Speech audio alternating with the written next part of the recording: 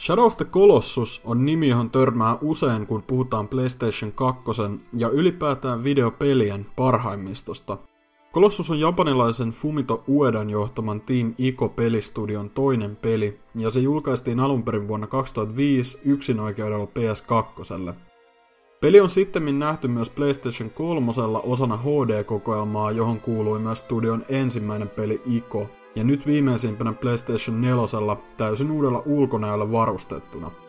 Niille, joille peli ei entuudestaan ole tuttu, Pähkinän kuoressa Shadow of the Colossus on tarina Wonder-nimisestä pojasta, joka vaeltaa kielletyille maille herättääkseen rakkaansa takaisin henkiin.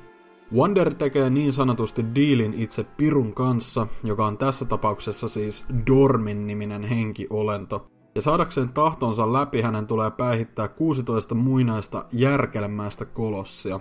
Shadow of the Colossuksen voisi luokitella avoimen maailman seikkailupeliksi, joka koostuu vain pomotappeluista sekä satunnaisesta kiipeilystä ja loikkimisesta.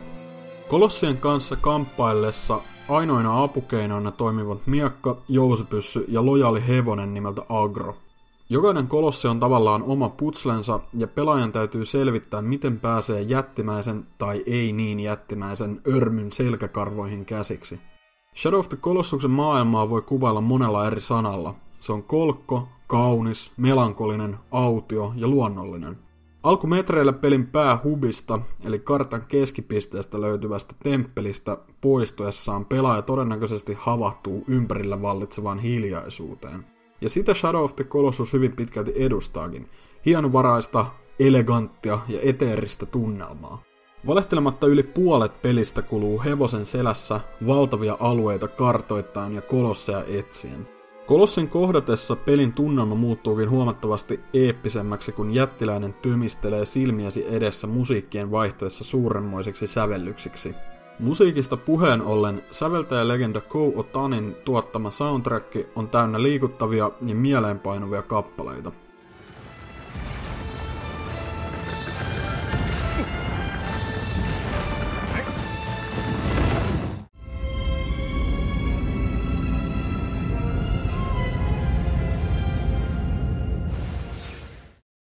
Perinteistä hahmon kehitystä pelissä ei sinänsä ole, mutta ajoittain saatat löytää kummallisia hedelmiä tai valkohäntäisiä liskoja, jotka hieman nostattavat Wanderin stamina ja HP-palkkoja. Ajoittain saattaa tuntua siltä, että pelin maailma kaipaisi jotain lisääkin edellä mainittujen liskojen ja hedelmien ohelle, mutta loppupeleissä iso osa pelin viehätyksestä kumpuaa nimenomaan siitä pelaajan ympärillä vellovasta tyhjyyden ja yksinäisyyden tunteesta. Shadow of the Colossus ei turhaan monimutkaista asioita, eikä tyrkitä pelaajalle merkityksetöntä filleriä, vaan se pysyttäytyy visusti alkuperäisessä visiossaan loppuun saakka. Kun Sony ilmoitti viime vuoden E3-tilaisuudessaan Shadow of the Colossuksen ilmestyvän PS4, en oikeastaan pahemmin innostunut julkistuksesta. Tästä huolimatta julkaisun lähestyessä kiinnostus uusioversiota kohtaan alkoikin kasvaa vaarallista vauhtia. Bluepoint Gamesilla on vankka tausta remasterointien kanssa, ja he olivat myös tehneet aiemmin mainitun PS3 Team Ico-kokoelman, joten luottoa tähän päivitettyyn versioon kyllä löytyy siinä mielessä. Olin kuitenkin vähän varautunut siihen, etten pitäisi pelistä niin paljon. Nimittäin olin pelannut Shadow of the Colossuksen ensimmäistä kertaa läpi vasta toissa vuonna ja koin muutaman asian hyvin turhauttavaksi, päällimmäisen kömpelöt kontrollit. Ilokseni PS4-versioon olikin lisätty pari erilaista kontrollilayouttia ja pelin teknistä puolta viilattu yleisesti parempaan suuntaan. Tavallisella Pleikkari 4 peli pyörii 30 framea sekunnissa, mutta Pro-mallilla pelaaja voi valita korkeamman resoluution ja tasaisen 60 ruudun päivityksen väliltä. Itse suosin lähes poikkeuksetta jälkimmäistä, sillä peli näyttää joka tapauksessa uskomattoman hyvältä. Bluepoint on ehdottomasti onnistunut tuomaan uutta eloa tähän päälle 10 vuoden ikäiseen klassikkoon, kiillottamalla pienimmätkin tekstuurit uuteen hohtoon. Kolossien pehmeät turkit ja kulahtaneet kivipanssarit saavat nämä otukset näyttämään paremmalta ja elävämmältä kuin koskaan aikaisemmin. Ympäristön vihertävät laaksot, valoisa taivas ja hulppeat näköalat taas saavat lähinnä ilon kyyneliä aikaan, kun muistelee alkuperäisen pelin sepia-täytteistä maastoa. Pelin on myös lisätty erillinen fotomode, jonka avulla voi helposti ikuistaa niitä siisteimpiä hetkiä matkojen varrelta.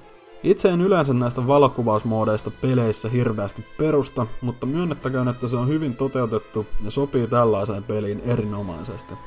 Fotomoden eri filtreitä pystyy myös käyttämään pelkiltään pelatessaan, eli jos haluat kokea Shadow of the Colossuksen mustavalkoisena, sekin on nyt viimein mahdollista. Bluepoint Gamesilla ollaan myös selvästikin ymmärretty, mikä teki Shadow of the Colossuksesta niin omalaatuisen ja erityisen, eikä pelin juonta tai rytmitystä olla menty sörkkimään ollenkaan. Jopa komean uuden ulkoasun alla edelleen jyskyttää ne samat vanhat PS2-aikaiset hahmoanimaatiot. Ainoat varsinaiset pelilliset lisäykset tässä uusioversiossa ovat viittaus The Last Guardianiin pikkuruisen easter eggin muodossa sekä keräiltävät kolikot, joita on piilotettu ympäri pelin karttaa mitä kummallisempiin paikkoihin. Oikeastaan ainoat lapsukset, jotka itseä häiritsi enemmän tai vähemmän peliä pelatessa, olivat satunnainen ruudunpäivityksen tökkiminen temppelin luona sekä päähaamu Wanderin uusi hengettömän näköinen naama. Jälkimmäinen oli kieltämättä melko omituinen muutos. Wanderin kasvot ovat PS4-versiossa jotenkin elottomat ja hieman naiselliset. Välivideoissa naamassa näkyy sentään jonkin verran tunnetta, mutta valehtelisi jos väittäisin, etteikö kyseinen seikka olisi harmittanut itse peliä pelatessa. Kaiken kaikkiaan Bluepoint Games kuitenkin suoriutui mallikkaasti tästä projektista, ja vaikka kovimmat puristit saattavatkin vannoa Pleikkari 2 ja 3 versioiden nimeen, niin itse kyllä sanoisin tätä parhaaksi versioksi Shadow of the Colossuksesta. Tämä peli on malliesimerkki siitä, miten remakeit tulisi hoitaa. Shadow of the Colossus PS4 on ehdottomasti pelaamisen arvoinen tekele niin uusille kuin pelin jo kokeneillekin pelaajille ja helposti 40 euron hintansa väärti. Etenkin kun markkinoita ei vieläkään löydy peliä, joka tarjoaisi Shadow of the Colossuksen kaltaista kokemusta.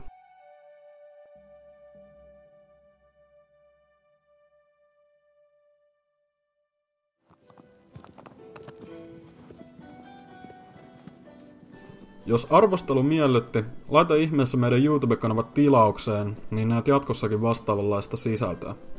Videon kuvauksesta löytyy myös linkit meidän viikoittain ilmestyvään podcastiin, Discord-ryhmään ja kaikkiin muihinkin someihin. Kiitos vielä kun katsoit videon loppuun saakka.